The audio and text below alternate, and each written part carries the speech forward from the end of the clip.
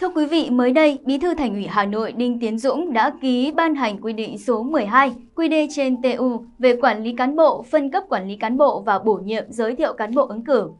Thành ủy Hà Nội khuyến khích cán bộ bị kỷ luật cảnh cáo hoặc khiển trách mà năng lực hạn chế, uy tín giảm sút, tự nguyện xin từ chức. Quy định số 12 QĐ trên TU gồm 7 chương và 39 điều.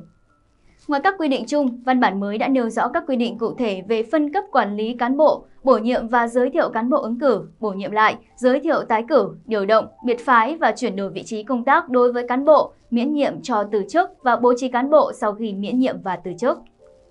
Về tiêu chuẩn điều kiện bổ nhiệm giới thiệu cán bộ ứng cử chức vụ cao hơn, quy định yêu cầu phải đảm bảo tiêu chuẩn chung, tiêu chuẩn chức danh theo quy định của Đảng và cơ quan có thẩm quyền, không vi phạm quy định về những điều đảng viên, cán bộ, công chức, viên chức không được làm.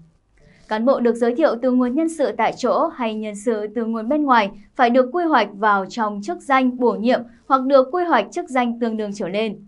Ngoài ra, cán bộ bị kỷ luật thì không phân công, bổ nhiệm, giới thiệu ứng cử vào chức vụ cao hơn chức vụ khi bị kỷ luật trong khoảng thời gian 12 tháng đối với hình thức kỷ luật khiển trách 30 tháng đối với hình thức kỷ luật cảnh cáo và 60 tháng đối với hình thức kỷ luật cách chức. Cán bộ sau khi được bổ nhiệm giới thiệu ứng cử vì một trong những lý do sức khỏe không được đảm bảo, uy tín giảm sút, không hoàn thành nhiệm vụ, vi phạm kỷ luật đảng, pháp luật của nhà nước, thì cấp có thẩm quyền quyết định việc thay thế cho thôi giữ chức, miễn nhiệm, từ chức, cách chức, không chờ hết thời hạn giữ chức vụ, hết nhiệm kỳ công tác.